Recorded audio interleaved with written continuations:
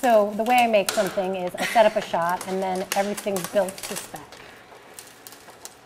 I see what the camera sees and then we build everything based on what the camera sees. So it's kind of like most people doing this would build a sculpture or build their thing and then fix their shot to the sculpture, like somehow fit it in. But for me, everything's based on the perspective of the camera. So dealing with what, only what the camera sees. Everything I do is a one-shot deal, so I shoot once. If it works, it works. If it doesn't, it's still going to be shown.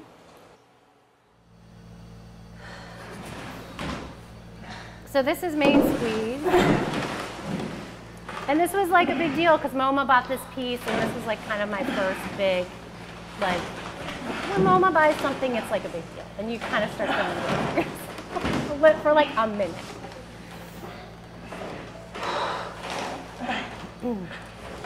Again, made in like my crappy studio in Williamsburg. Um, a camera on each side. I'm building and shooting everything. Um, and the structure is built around my body. So it's, it's made so that I am able to actually get through, but I just have to be in the exact right position.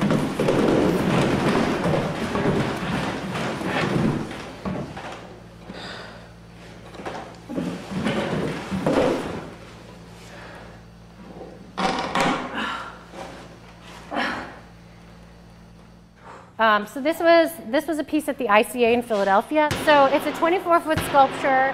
Um, these are five levels of sheetrock. One, one, level, one side is painted gray and the other side is painted um, the color of my shoes. I bought these shoes and I love them so much that I made the sculpture like based on those shoes. Um, so I just scanned the shoes and uh, it's the exact same color. So it's moving through these different walls to get to the back of the museum.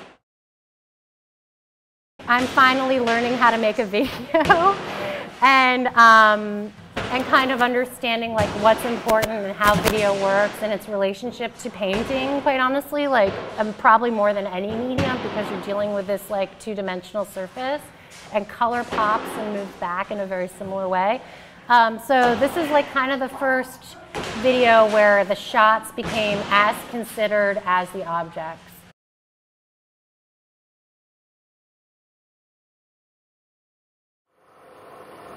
I'd say that the earlier work was more catharsis based, like was more like anger, rage, dumb. You know, um, it was like more orgasmic. um, the older work, the newer work as an older-ish person, is longer and like more of a prolonged like. So it's less like it's less like it's like it's less rage, rage, rage, end.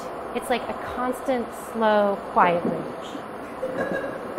So catharsis is still there, but it's not to the same, like it's not like punching something till it's in smithereens. Even there, there is elements of that, but it's, it's more of like a constant controlled motion. Um, but of course, like I get, I have, I mean, that's why I ended up going back into making work, being in it, because I really missed, I missed that physical, time-based, goal-based, like it's like running a race or something. Like I missed that like competition even though I'm competing with no one. You know, like I missed that like sort of intense physicality.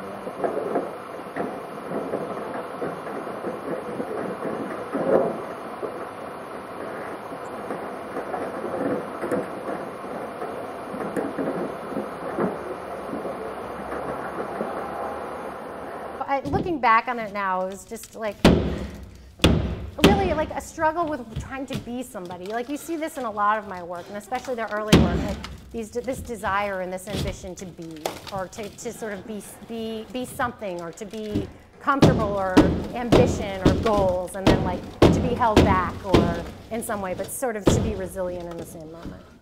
It's like, people think it's like masochistic and all this stuff, but I think it's like all about like, you know, you're taking all this crap and then like you, but you refuse, you refuse to give in, you refuse.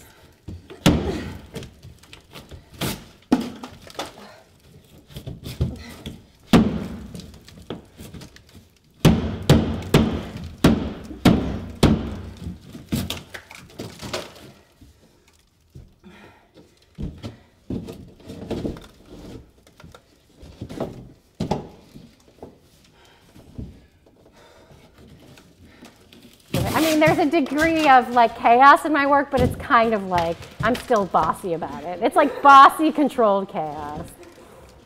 So everything starts falling apart. It's me trying to organize it. Eventually, the whole thing falls apart.